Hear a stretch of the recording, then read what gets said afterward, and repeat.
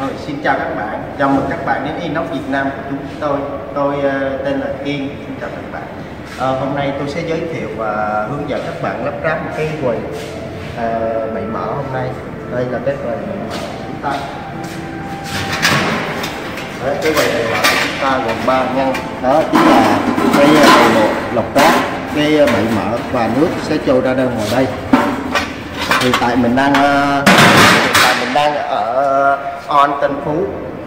À, để lắp ráp cho một chị à, quản lý muốn lắp ráp cái quầy trà sữa cái, cái quầy là bày mở như vậy. Đây cái khung của chúng ta đây.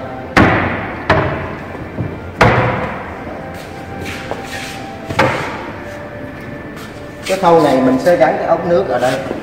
Các bạn ha rồi tí nữa các bạn sẽ hình dung rồi cái chỗ này. Đó ráp ống nước đây. Cái lúc nó hoàn chỉnh cái lúc nó hoàn chỉnh đó, mình sẽ đáp mình sẽ đánh dấu cụ thể rồi mình sẽ hướng dẫn các bạn à, làm cái ống của cái quầy này. À, chúng ta sẽ bắt đầu vào à, à cuộc đáp à, cái ống nước. À, bây giờ là mình tiến hành đáp ống nha các bạn nha. À, đây là ống là mình đánh có đánh dấu nè. À, à ở đường để đường này. Rồi. Các bạn ha à, đánh dấu. Đánh dấu đánh dấu để làm gì? Đánh dấu để lúc mình đúc ống vô cho nó vừa cái tiếp của nó vừa khít để đi nè. Chứ mình không đánh dấu tiếng là mình đẩy nhiều quá hoặc ít quá nó sẽ dư ra hoặc nó nó có thiếu ống nó sẽ có thể là nó bị chảy nước. Thì ống của mình đi nè. Ống của mình đi. Lỗ này sẽ là lối thoát của mình thôi. Lối thoát mình sẽ gắn cái ống này vô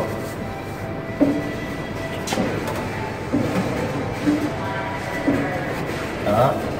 Gắn ống này vô là mình chụp cái này vô cũng được. Đó ở sẽ là cái đường ống thoát ra đường ống thoát là đường ống đây. Mình chưa có mở ra. À, mình chưa mình chưa có mở ra. Từ từ mình làm xong mình sẽ mở ra cho các bạn coi. Đó cái đường của nó là như vậy. Rồi bây giờ mình tiến hành mình tháo mấy cái ống này ra rồi mình dán. Đó tháo ống ra mình dán. Tháo ra. Đó là từng cái. Đó tháo ra từng cái mình bông.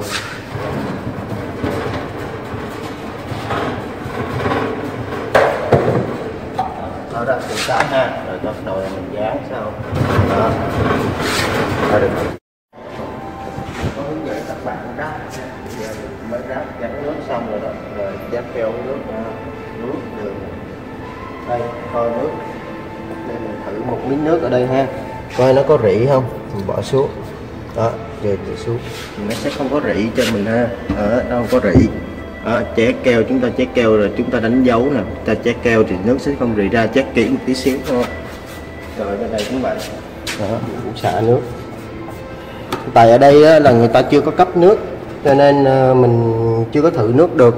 Mình chỉ lấy nước của mình để mình đổ để mình thử coi coi nó có có bị rỉ nước hay không thôi. Ừ. giờ mình chét keo kỹ nè. Quan trọng phần này nó không có bị xì nước hay này kia là được. Đây còn đây là dây cốc của người ta ha đó ống nước mình dán đó mình đánh dấu mình dán. Chét keo còn đây là cái mở đó. cái mở bây giờ mình sẽ hướng dẫn cho các bạn là bây giờ cái phần này là cái phần lọc rác của, của các bạn nè ha phần này cái phần lọc rác ha lọc rác cặn bã hay cơm hay gì đó thì nó cái phần này sẽ nó, cái sẽ, sẽ. Đó. À, nè, chị sẽ quay thẳng vô đây ha. Còn cái phần bên đây là cái phần à, à, mà mở. Ờ, không? nó sẽ nổi lên cho mình. Ừ, nổi cái phần nổi lên mình sẽ lấy giá mình bớt lên. Đó, bớt lên. Còn phần bên đây là phần nước. Mỗi lần mình bớt mở xong hay cặn mỗi lần mình vệ sinh xong mình đã dỡ lên. Sẽ được thoát xe nó sẽ ở bên đây. Các bạn ha đây. Là đường nước. Mình sẽ đi đường thoát xuống. Đường thoát sẽ ở bên đây ha các bạn ha. Ừ đó quay phần này. Đó. ơi chị nhìn nhanh rồi. Ờ. Đó. Là từ sáng đến giờ mình ráp cái vừa cái chậu này luôn hai chậu Đúng rồi, đúng rồi, thay mình đổi vừa đi được ống hai cái này luôn.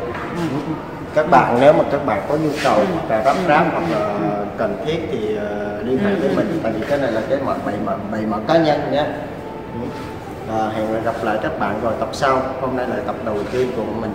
À, có gì liên hệ với cái số uh, điện thoại của mình hoặc là cái uh, website của mình ha. Tại vì thường mình sẽ làm việc 24 trên 7 rồi cảm ơn các bạn đã xem video.